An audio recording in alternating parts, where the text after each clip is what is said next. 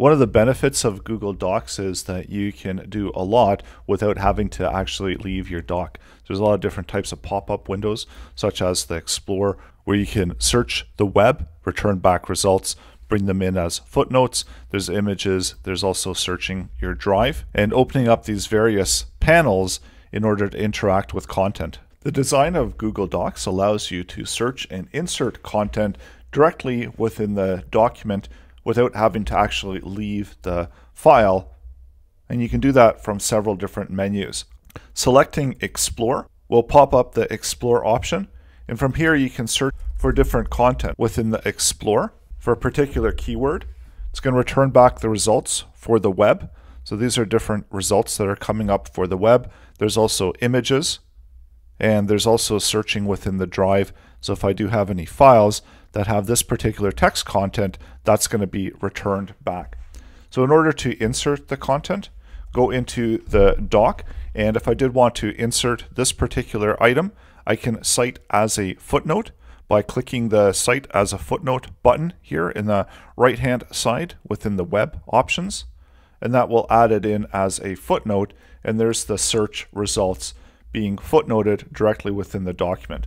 So if I was to mention my name, and that's going to be the search results that are going to be coming up as that.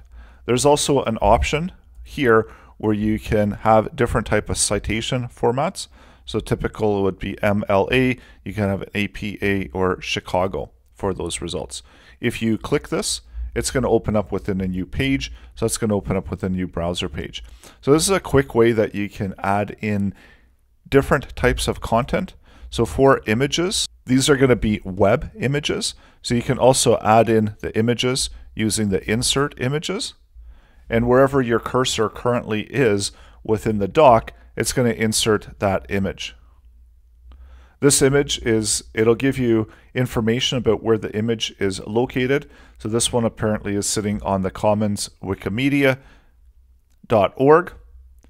You can also copy the link, you can edit the link and you can remove the link to the file.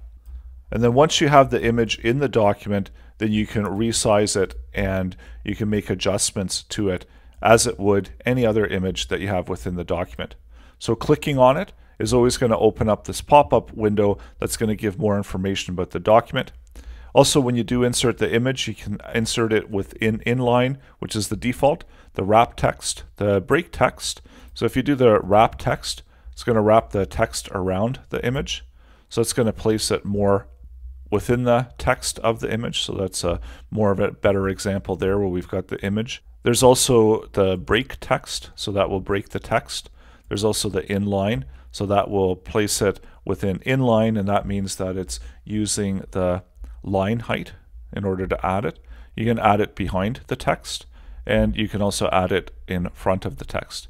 So you can allow it to be linked so it moves with the text. It can be a fixed position on the page.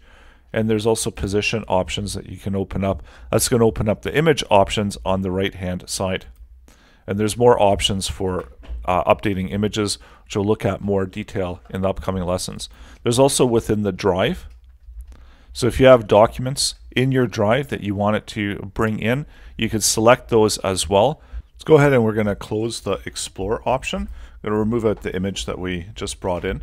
And we'll make a selection, move our cursor again over some text. So under the Tools tab, there's also the Explore, and there's the shortcut for the Explore. So this is going to open up that same menu that we just saw.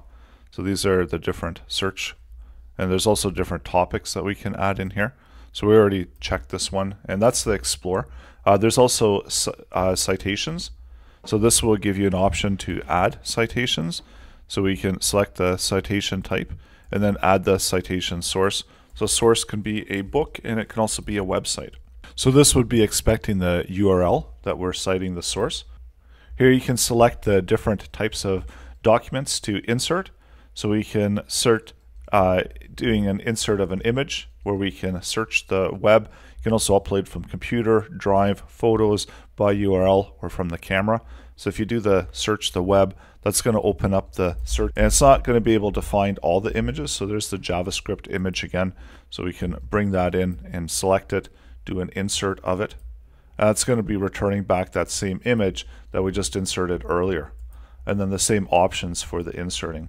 And if you do have content within other Google, within the other Google suite of products, you can select under the show side panel and this is going to give you a quick menu where you can go to your calendar, you can go to keep, tasks, contacts, and maps. This allows you to open up these side menus where you can interact with the various content within your Google Suite.